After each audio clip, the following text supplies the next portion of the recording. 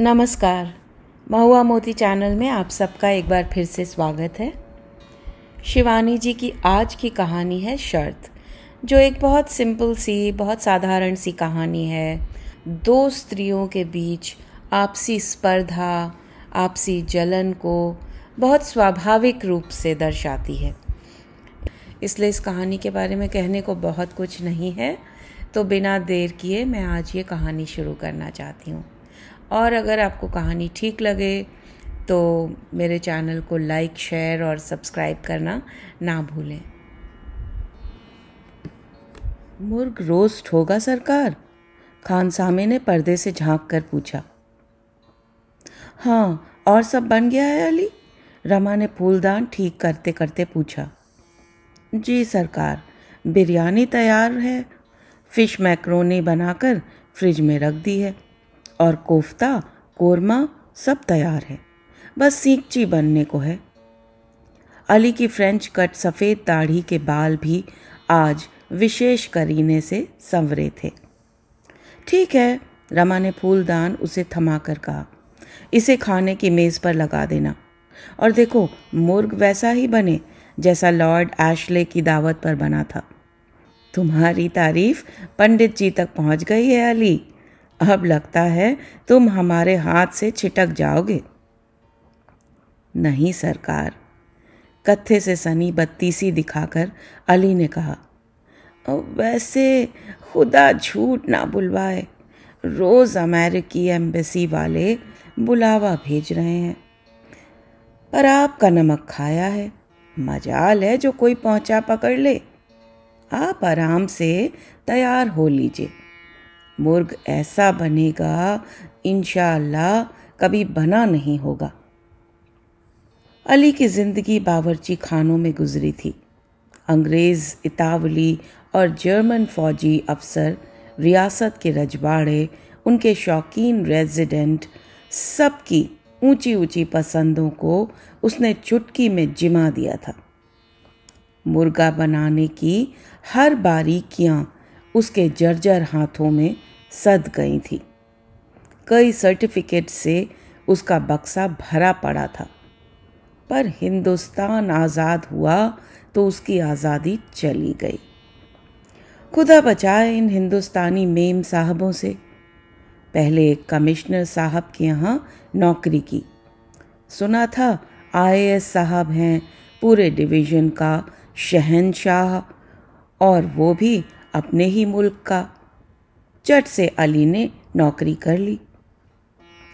दूसरे ही दिन मेम साहब आलू गिन गिन कर देने लगी और एक दावत के दिन एक सिगरेट के डिब्बे में डालडा देकर बोली खानसामा बढ़िया मुर्ग बनाना, समझे? और इसी घी में कोफ्ते भी बना लेना। अली से नहीं रहा गया। अकड़ कर बोला गुस्ताखी माफ़ हो गरीब परवर मुर्ग तो बादशाही तबीयत का होता है। इत्ते से घी में तड़प तड़प कर रह जाएगा। बस उसी दिन उसे जवाब मिल गया। फिर गया एक डेप्यूटी सेक्रेटरी के यहाँ, जहाँ उसकी लाई चीज़ें मेम साहब फिर तराजू पर तोलती और हर छटाक पर उसका ईमान तोला जाता। अली वहाँ से भी छोड़ आया। और अंत में उसकी नाव किनारे लग ही गई। उसकी इन मेम साहब ने जैसी चाँद सी सूरत पाई थी, वैसी ही मीठे चश्मे की तबीयत भी। दिन रात दावतें होती, प्राइम मिनिस्टर से लेकर राजदूतों तक की भीड़ लग जाती थी। पर आज की दावत सबसे बढ़िया होगी। अली समझे? मेम साहब ने कहा, और वो जी जान से जुट गया था। सच, आज की दावत में रमा बाजी मार ले जाना चाहती थी। अपने ड्राइंग रूम के वैभव को उसकी मुग्धा दृष्टि बार बार चूम रही थी। एक एक पेंटिंग चार चार हज़ार से कम की नहीं थी। कहीं दीवार पर उसका प्रधानमंत्री के साथ चित्र टंगा था, कहीं वो महारानी एलिजबेथ से हाथ मिला रही थी। और किसी चित्र में वो धूप का चश्मा लगाए, पोलो के विजेताओं को पुरस्कार के कप वितरित कर रही थी। विदेशी यात्रा से लाए गए उसके सुवेनियर यत्र तत्र बिखरे पड़े थे। देखते ही लगता था कि किसी डिप्लोमैट की सुरुचिपूर्ण बैठक का कक्ष है। आ जाएगी लीला, वही लीला जिससे वो अपने जीवन की सबसे बड़ी शर्त हार गई थी। ठीक बीस वर्ष पहले, आज उसकी हार का बदला लेना होगा। लीला का चित्र उसने कल ही ईव्स वीकली में देखा था। कितनी मोटी और बेडौल होकर फूल गई थी बेचारी। लीला, आज तुम देख लोगी कि तुम्हारा आनंद मुझे देखकर फिर वैसे ही उन्मत्त हो उठेगा। अपनी नासमझी पर मन ही मन झुंझलाएगा, खींचेगा और बाहर भीतर जाते मुझे ही देखेगा। केवल मुझे। तुम्हें नहीं, तुम्हारे यौवन ने तुम्हें दगाबाज मित्र की भांति छोड़ दिया है। और मैं? ज़ोर से हंसने को जी हो आया रमा का दो साल में वो पूरे चालीस की हो जाएगी। पर क्या उसके चिकने से भोले चेहरे पर एक भी झुर्री उभरी थी? उन मस्तानी आँखों का जादू रत्ती मात्र भी कम हो पाया था। उसकी मंदोदरी देह वल्लरी क्या अभी भी वन्यलता सी लचीली नहीं थी? बीस वर्ष पहले उसके जी में आया था कि इस नागिन सी लीला की छाती को चीरकर उसका खून पी ले। और आज कितने आग्रह से उसने उस लीला को डिनर पर बुलाया था। अपने पति से उसने कभी नहीं कहा और कहती भी क्या। यही आनंद पांडे जब आईएएस में सर्वप्रथम निकलकर कटी पतंग सा विवाह के मार्केट में आ गिरा तो समृद्ध जनक वर्ण दल बांधकर उसकी कटी डोर पकड़ने टूट पड़ा था। जूट के व्यवसायी श्रीकांत जोशी जिनकी मेम सी गोरी दुहिता के लिए कितने ही पर्वतीय रस सिद्ध कवीश्वरों ने कविता के पोथे के पोथे लिख मारे थे।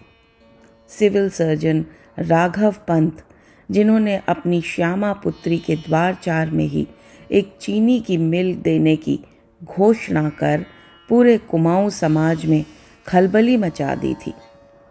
और भोलेश्वर जोशी, जिन्हें कुमाऊं के उच्च गोत्रीय ब्राह्मणों ने बहुत नीच कुल के जोशियों से संबंधित सिद्ध कर दिया था।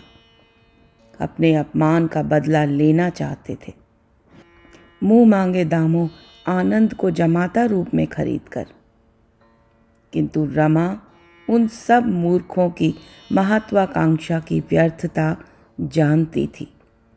उसके पिता की स्कूल मास्टरी ने उसके दस प्राणियों के परिवार को मध्यवर्गीय स्तर से भी बहुत नीचे पटक दिया था। वो जानती थी कि उनके अभावग्रस्त ग्रह में केवल तीन नीग्रो होठ वाले मोटे मोटे प्याले और पाँच बदरंग तश्तरियाँ थीं। कभी कोई सम्मानित अतिथि आ जाता तो पिछवाड़े का द्वार खोलकर वो अपने छोटे भाई बहनों में से किसी को दौड़ाकर पड़ोस से चम्मच मांगने भेज देती। एक तश्तरी में आध पाव मिठाई बिखेर बिखेर कर ऐसे सजा देती, जैसी ढेर सी दिखने लगे। भाई बहनों को सिखाना, पढ़ाना भी पड़ता था। देखो, मेहमानों का मुँह मत ताकना। खबरदार जो टुकड़ा भी लिया, कह देना हमने अभी खाया है। अतिथि के जाते ही उसका अनुशासन भंग हो जाता और भाई बहनों का जत्थे का जत्था टूट पड़ता। मिनटों में ही तश्तरी साफ़ हो जाती। माँ की फटी साड़ियों का आवरण ओढ़ते ओढ़ते घर की एकमात्र रजाई अपना अस्तित्व खो बैठी थी। पर फिर भी चिर दारिद्र से पूरी तरह निगले जाने पर भी स्कूली मास्टर रामदत्त पंत का काठ का पहाड़ी मकान सदा द्युतिमान तारे सा ही चमकता। भुनिया बुआ जब कभी मायके आती अपनी भाभी से यही कहती, जो भी हो नान बोजियो बच्चे तो तुम्हारे खरे कुंदन के टुकड़े हैं। एक से एक गंधर्व किन्नर देख लेना, अपनी यही रमुली लाखों की भीड़ में चमक कर ही रहेगी। क्यों नहीं मांगती आनंद की कुंडली? बुआ के छेड़े गए, इसी प्रसंग ने रमा की दुनिया बदल दी। बार बार वो आईने में अपना चेहरा देखती और लाल पड़ जाती। तुम भी लली हो, लली। कहाँ राजा भोज, कहाँ गंगू तेली? कैसे कैसे लाट कमिश्नर रुक्मी को पान सा फेर रहे हैं? मुझे क्या पूछेगी? एक लंबी सांस खींचकर उसकी माँ फिर उधड़े ऊन का मोजा बुनने लगती। कितनी खींच उठी थी उसे अम्मा पर उस दिन। लेकिन वो जानती थी कि उसका सौंदर्य ही पिता के वैभव का द्योतक नहीं है। गर्व से उसने घर के एकमात्र दर्पण में घूम घूम कर हर कोण से कितनी बार अपना चेहरा देख डाला था। एक तुक का आईना भी तो नहीं था घर में। एकमात्र दर्पण में बड़ी सी काली दरार थी। रंग बिरंगे नाना प्रकार के बिनाका के ट्रांसफ़र छोटे भाई ने इधर उधर चिपका दिए थे। एक साथ पूरा चेहरा देखने का कोई उपाय ही नहीं था। कभी एक जोड़ा रसीली चितवन दिख जाती तो कभी एक फांक मूंगिया अधर। अपने अंग प्रत्यंग पर रमा को गर्व था। एक तो वो वह संधि की उस ऊँची सीढ़ी पर खड़ी थी जहाँ से अपने सद्य प्राप्त यौवन धन की श्रेष्ठता सबसे प्यारी लगती थी। अपने दरिद्र ग्रह से भी वो राज रानी थी। अपने अज्ञात काल्पनिक वर के हृदय की एक छत्र साम्राज्ञी। किंतु बुआ के प्रस्ताव ने अज्ञात वर को सहसा उजाले में खींचकर रख दिया था। अब उसे आनंद के हर कोट और स्वेटर का रंग कंठस्थ था। आनंद की माता रुक्मा उसके पिता के बाल्य सखा की पत्नी थी। इसी रिश्ते से वो उसे कहती थी रुक्मा चाची। आनंद के पिता सेक्रेटेरिएट में क्लर्क थे, किंतु पुत्र की महिमा ने उनके क्लर्की जीवन का समस्त कलुष धो पोंछ कर रख दिया था। नज़र बाग में उनके दो मंजिले मकान का नक्शा ही बदल गया था। पहले काया पलट हुई थी बैठक की। सब तिब्बती आसन और पहाड़ी चुटके, जिनसे सदा पानी में भीगे कुत्ते की सी बदबू आती थी, उठाकर गोदाम में फेंक दिए गए थे। उनका स्थान एक झकाझक करते मिर्ज़ापुरी कालीन ने ले लिया था। एक सोफ़ा सेट भी आ गया था और आनंद की दोनों बहनों को अंग्रेज़ी स्कूलों में दाखिला करवा दिया गया था। किसी भी अतिथि के आते ही वो दोनों अपनी नई सीखी अंग्रेज़ी कविता की आवृत्ति कर बेचारे अतिथि का खोपड़ा ही चाट कर रख देती। बाईस वर्ष में पहली बार उन्हें लखनऊ की गर्मी असह्य लगी और पूरा परिवार अल्मोड़ा आ गया। अल्मोड़ा का शांत नगर भी एक बिसरे दरिद्र स्नेही आत्मीय सा है। जो अपने राजसी प्रवासी स्वजनों द्वारा वर्षों से निरादर से भुलाए जाने पर भी मिलते ही अवहेलना की कसक को भूलकर बाहों में भर लेता है। आनंद के पिता भुवन चंद को भी अल्मोड़ा ने गले लगा लिया।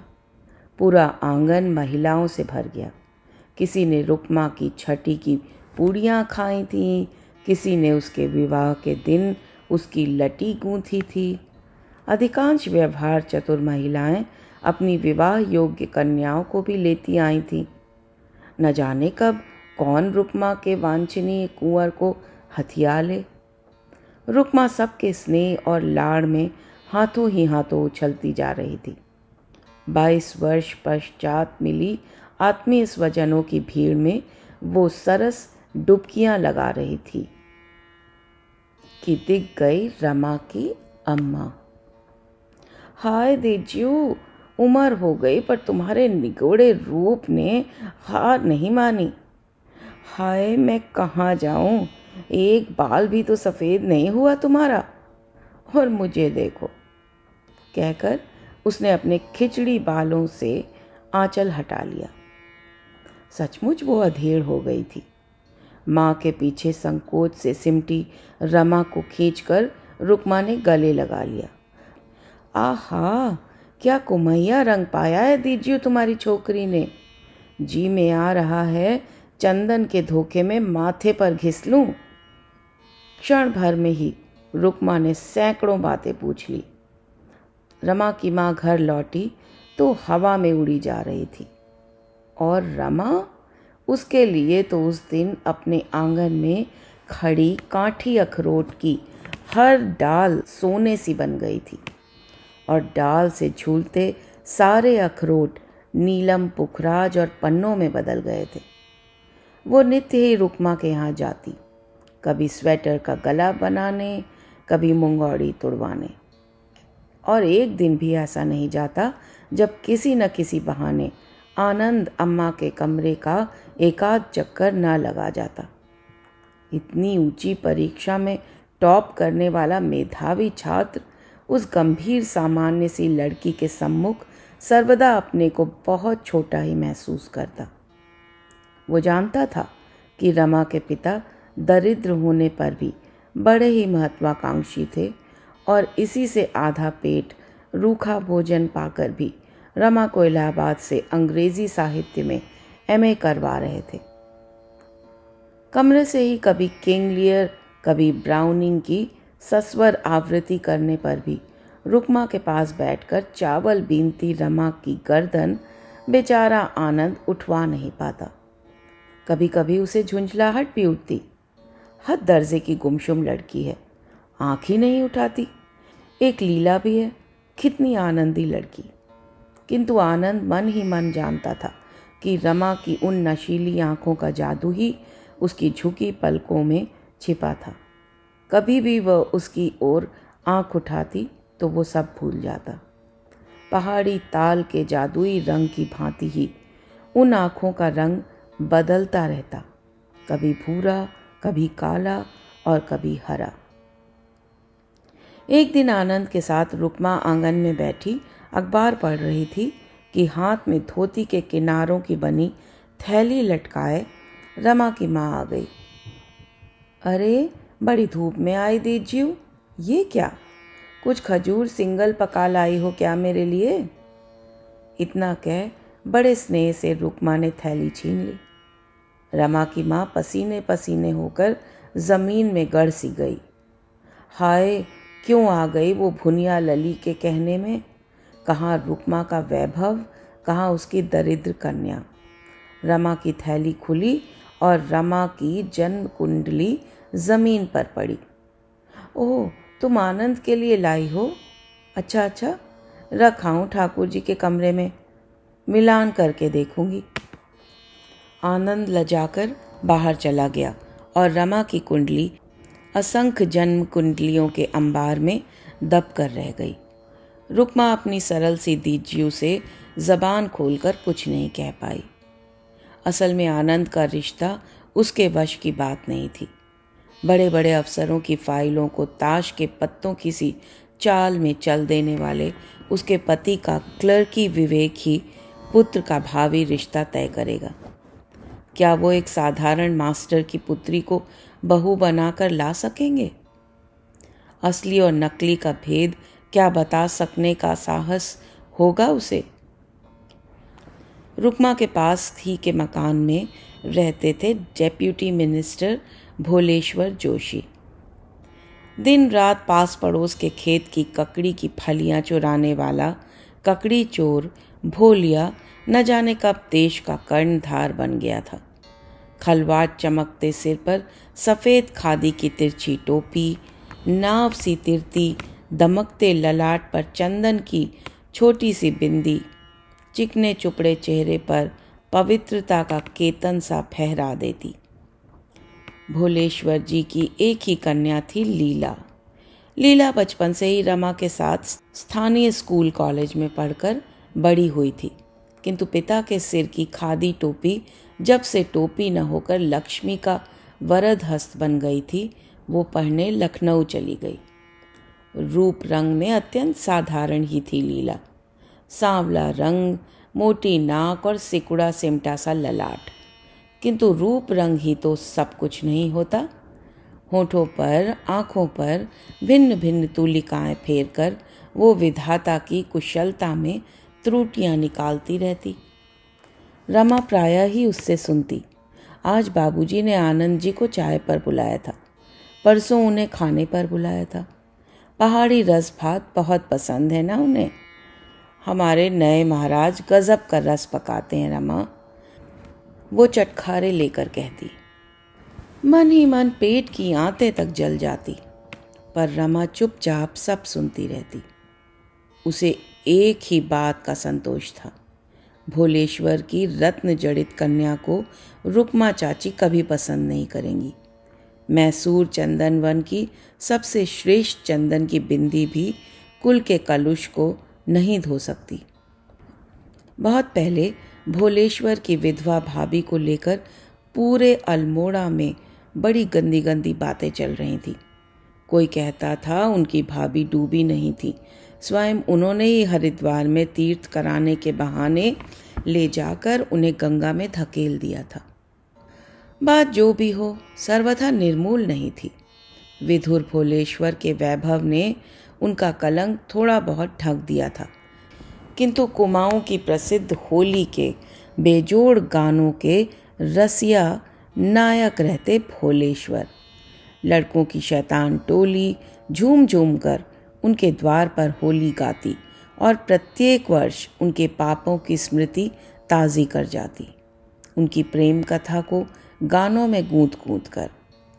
इधर भोलेश्वर जोशी ने अपना रहन सहन बदल दिया था। बदन पर रहता आंध्र खादी का, मिट्टी दाने का कुर्ता और खद्दर की अहिंसात्मक भटके की धोती। ब्रह्म मुहूर्त से ही उनका भजन पूजन आरंभ हो जाता। एक ही समय भोजन करते थे, वो भी सूक्ष्म फलाहार। आनंद का जन्मदिन पड़ता था वैशाखी पूर्णिमा को।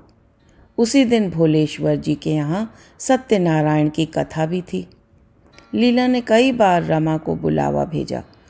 और उसे जाना ही पड़ा। कथा चल रही थी कि लीला उसे अपने कमरे में खींच कर ले गई। चल आ ही गई। मुझे लग रहा था आज तू यहाँ नहीं आएगी। आज तो आनंद का जन्मदिन है ना? नहीं गई अपनी चाची के यहाँ बड़े खाने? रमा तिलमिला उठी। ओह, समझ गई। कल लीला ने अपनी खिड़की से देखा होगा। आनंद के नए स्वेटर को उसके कंधे से लगाकर नाप रही थी। चाची किसी काम से बाहर गई और आनंद ने शायद जानबूझकर ही बड़ी ज़ोर से छींक दिया। सिर टकराते टकराते बच गया था और रमा को बड़ी ज़ोर से हँसी भी आ गई थी। पर उस क्षण एक मधुर हास परिहास की रसधारा अचानक सूखकर ही रह गई। पास की खिड़की से एक सांवले निर्मम चेहरे की क्रूर दृष्टि दोनों को देख रही थी। बुरा मान गई रमा। लीला ने उसे खींचकर अपने पलंग पर बैठा लिया। कुछ कहने को ही बुलाया था तुझे। तेरे इन्हीं मनमोहन से मेरे रिश्ते की बात चल रही है, पगली। इसी से सोचा तुझे आगाह कर दूँ। बेकार में स्वेटर मत बुनना। सब मेहनत मिट्टी में मिल जाएगी। ही ही कर वो निर्लजता से हंसने लगी। रमा का चेहरा क्षण भर को सफ़ेद पड़ गया। फिर आश्वस्त होकर वो खड़ी हो गई। निर्भीक दृष्टि से लीला की ओर देखकर उसने कहा, बात चलने में और रिश्ता पक्का होने में बड़ा अंतर है लीला। मैं शर्त रख सकती हूँ कि चाची तेरा रिश्ता कभी नहीं लेंगी। उसे ऐसा नहीं कहना चाहिए था। बार बार उसे अपनी अल्प बुद्धि और आवेश पर क्रोध आने लगा। उस साली चाची को पूछेगा ही कौन? और तेरी शर्त? ही ही ही कर वो फिर हंसने लगी। रमा जाने लगी तो लेटे लेटे ही लीला ने उसे अंगूठा दिखा दिया। तू शर्त जीत गई लाडो तो मैं तेरी बांदी, नहीं तो ये तेरा इनाम, कहकर उसने मोटा काला अंगूठा फिर नचा दिया। रमा की आँखों में अपमान के आँसू छलक गए और वो धड़धड़ाती सीढ़ियाँ उतरती घर की ओर भागने लगी। संभल के संभल के, कहकर उसे सकरी सी गली में किसी की टक्कर लगी। देखा तो आनंद था। उसका आंसुओं से सना लाल पड़ा चेहरा और उड़े उड़े बाल देखकर आनंद खड़ा ही रह गया। क्या बात हो गई रमा? क्या लीला ने कुछ कहा है? कितने लाड़ और दुलार से उसने पूछा था, पर रमा का जितना क्रोध लीला पर था, सब आनंद पर बरस पड़ा। आपका ब्याह उसी शहजादी से हो रहा है तो हुआ करे। किसी को अपने घर बुलाकर अपमान करवा के जी नहीं भरा क्या? बेचारा भौचक्का सा उसे देखता रहा। क्या कह रही थी वो? उस दिन जरा भी समझ से काम लिया होता रमा ने डूबते सूर्य की अरुण रश्मियों से रंजित अल्मोड़ा की उस सकरी सी गली में उसका भविष्य बन सकता था। जब आनंद ने उसका हाथ पकड़कर कुछ कहने की चेष्टा की तो वो हाथ छुड़ाकर रोती रोती भाग क्यों गई थी? चीड़ के उस ऊँचे पेड़ के नीचे जहाँ से छन छन कर पड़ती किरणों का रंगीन जाल उसे देवांगना सी सुंदर बना रहा था। क्या वो एक लंबी सांस छोड़कर उस प्रेमोन्मत्त तरुण को अपना नहीं बना सकती थी? जाने से पहले रुकमा चाची ने बुलावा भेजा तो उसने रजाई में मुँह लपेट कर बीमारी का बहाना बना दिया। उसकी माँ ही जाकर मिलाई थी। अम्मा और बाबूजी की बातें भी जीर्ण रजाई का आवरण चीरकर उसका हृदय विदीर्ण कर गईं। मैंने तो पहले ही कह दिया था, वो हमें क्या पूछेंगे? तुमने ही तिक तिक लगाई थी। लीला से ही रिश्ता पक्का हो गया है। आज आग लगे इस रुकमा के तीरथ भरत को, आखिर लाई फौजी के यार की बिटिया को। अम्मा का स्वर रुलाई और खींच में डूब कर रह गया। धुंधली आँखों पर टूटी कमानी का चश्मा लगाए उसके बाबूजी जब बोर्ड के नीरस टैब्यूलेशन में डूबे थे, भोलेश्वर की पैनी राजनैतिक चालों ने आनंद को बाँध लिया। कुछ दिनों तक रमा अधमरी खटिया पर ही पड़ी रही और फिर भुनिया बुआ उसे अपनी ससुराल लेती गई। बुआ के ही पड़ोस में एक लाल छत की ऊँची सी हवेली थी। तराई की सब कोठियों में अधिक ही चमकती थी। वो कोठी ऊँची मेहराबें आकाश छूती थी और खिड़कियों पर लकड़ी के बने हाथी घोड़े और पहाड़ी नक्काशी में खुदे द्वारपाल वर्निश से चम चम चमक रहे थे। बुआ कहती थी, इसी को कहते हैं भाग्य।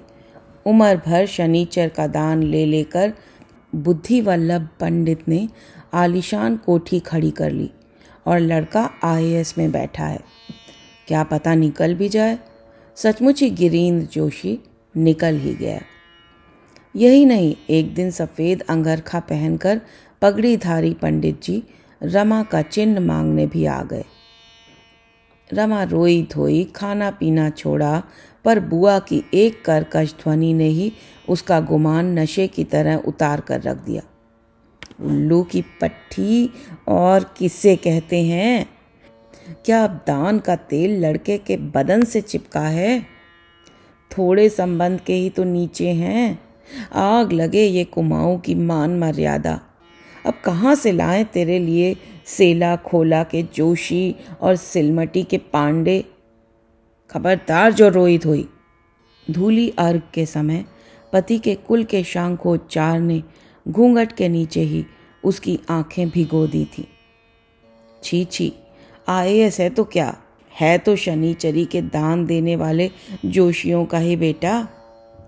किंतु विवाह के बीस वर्षों में वो श्वसुर कुल द्वारा लिए गए तेल के दान को धीरे धीरे भूल गई। पति के ऊँचे ओहदे ने उसके पितृकुल के दारिद्र को धो पोंछ कर एकदम ही साफ़ कर दिया था। सब भाई बहन ठिकाने लग गए थे। उसकी सरल सी अम्मा अब गांधी आश्रम की श्वेत रेशमी साड़ी पहनकर समाज सेविका बन गई थी। उसके पति का कद ठिगना और नाक मोटी थी। नाटे कद की महिमा को उसकी बढ़ती तोन ने और भी बढ़ा दिया था।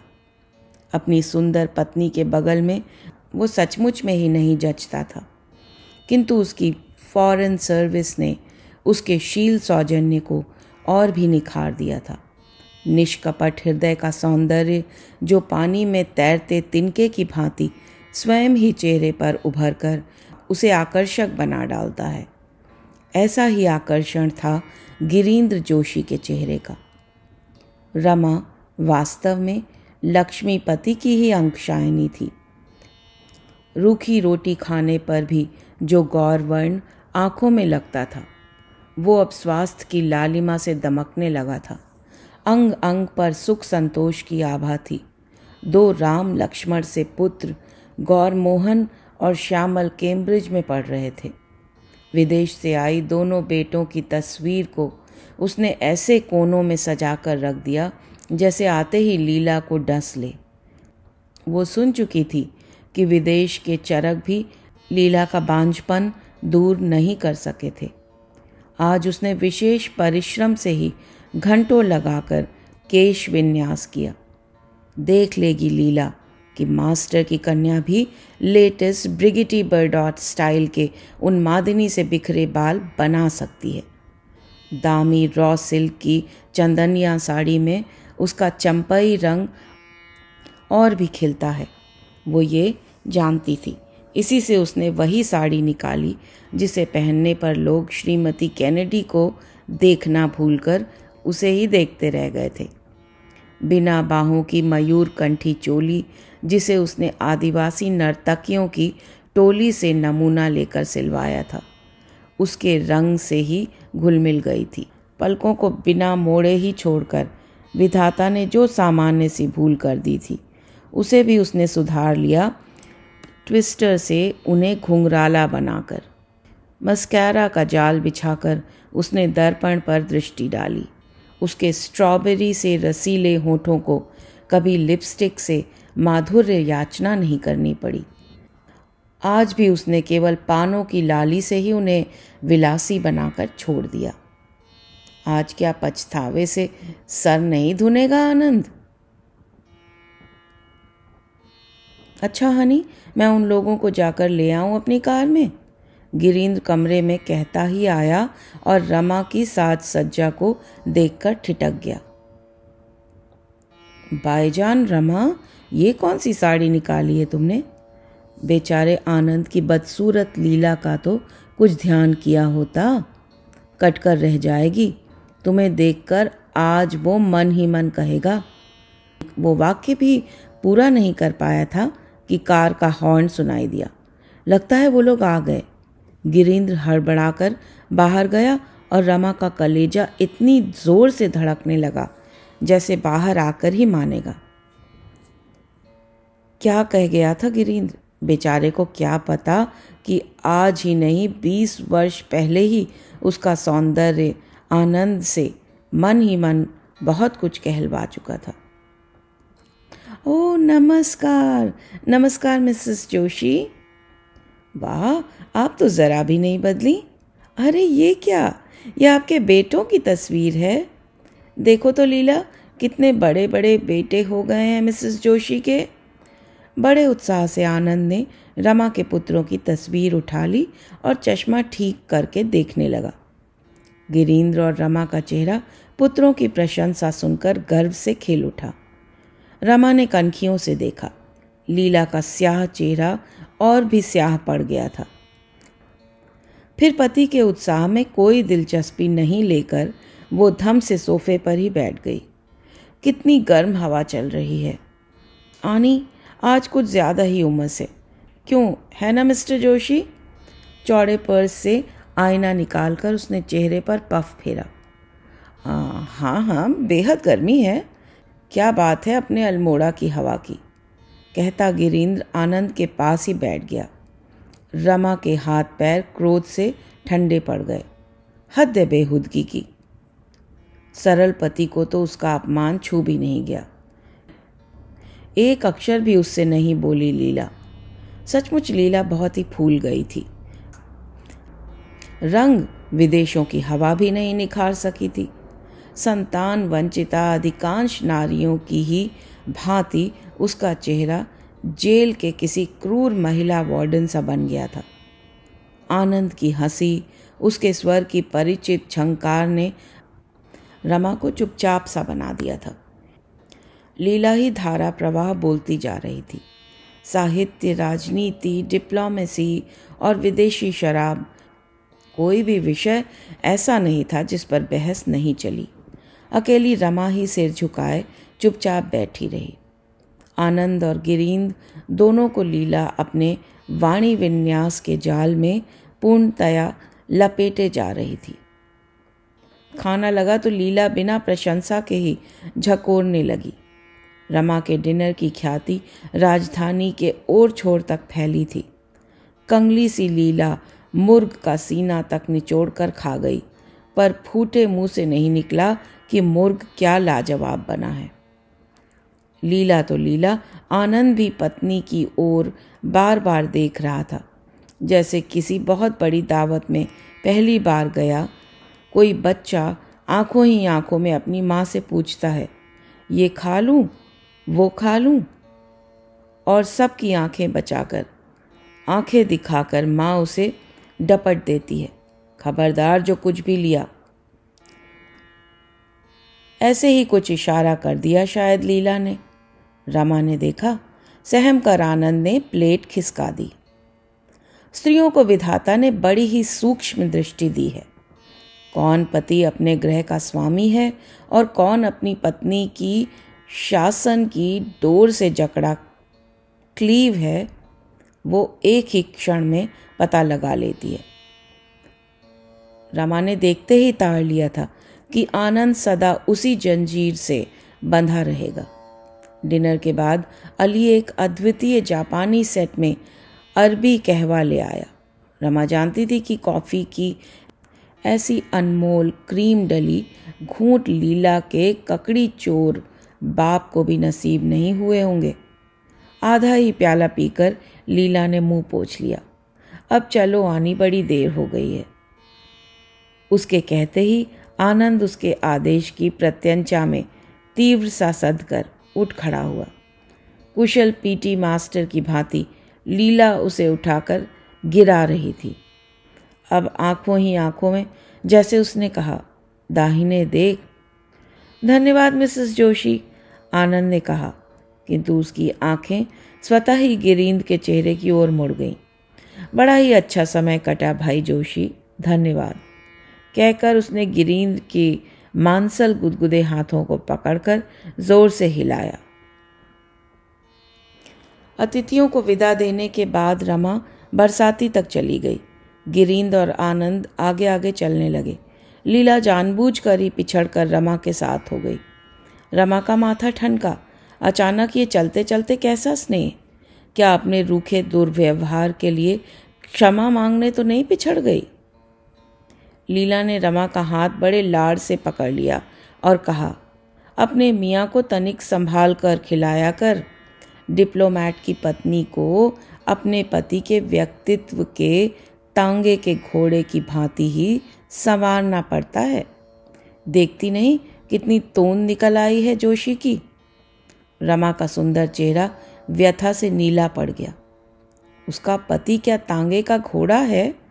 लीला ने स्पष्ट ही तो कर दिया कि देख ले आनंद के छठे शरीर को और फिर देख अपने पति के बेडौल मोटापे को।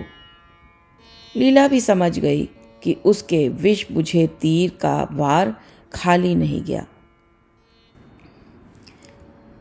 देखो तो रमा, उसकी जहरीली हँसी ने रमा को फिर ढसा ये अंगूठी कैसी है? अनकट डायमंड की है। कल ही आनी ने मुझे जन्मदिन पर दी। सोचा तुझे दिखाने को कहा था ना? चलते चलते दिखा ही दूँगी। पहले रमा स्तब्ध रह गई। कैसी अंगूठी दिखाने को कहा था? क्या कह रही है लीला? ओह पगली, भूल गई। नहीं, भूली नहीं होगी। हम औरतें कभी शर्त नहीं भूलती। वो फिर हँसी। रमा का सिर चकरा गया।